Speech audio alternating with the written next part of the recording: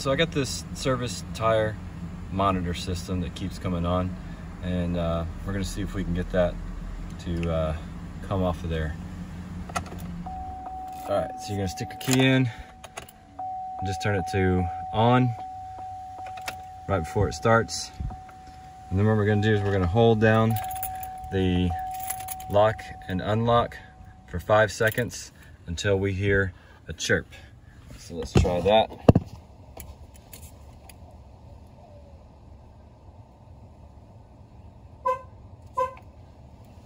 Okay, so we heard the chirp.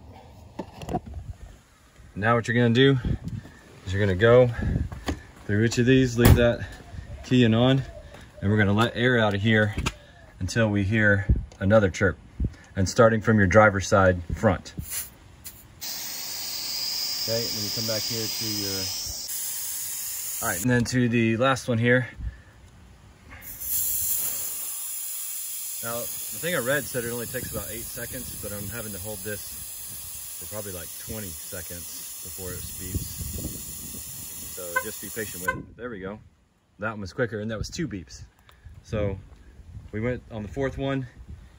Okay, we did the front driver side first, and then the back driver side second, and then the back passenger side third, and then fourth, the front um, passenger side. And then each of the honks on the first three was one honk, and then you're gonna hear two honks after you do your fourth tire on the driver's side there. So now let's see if our light's off.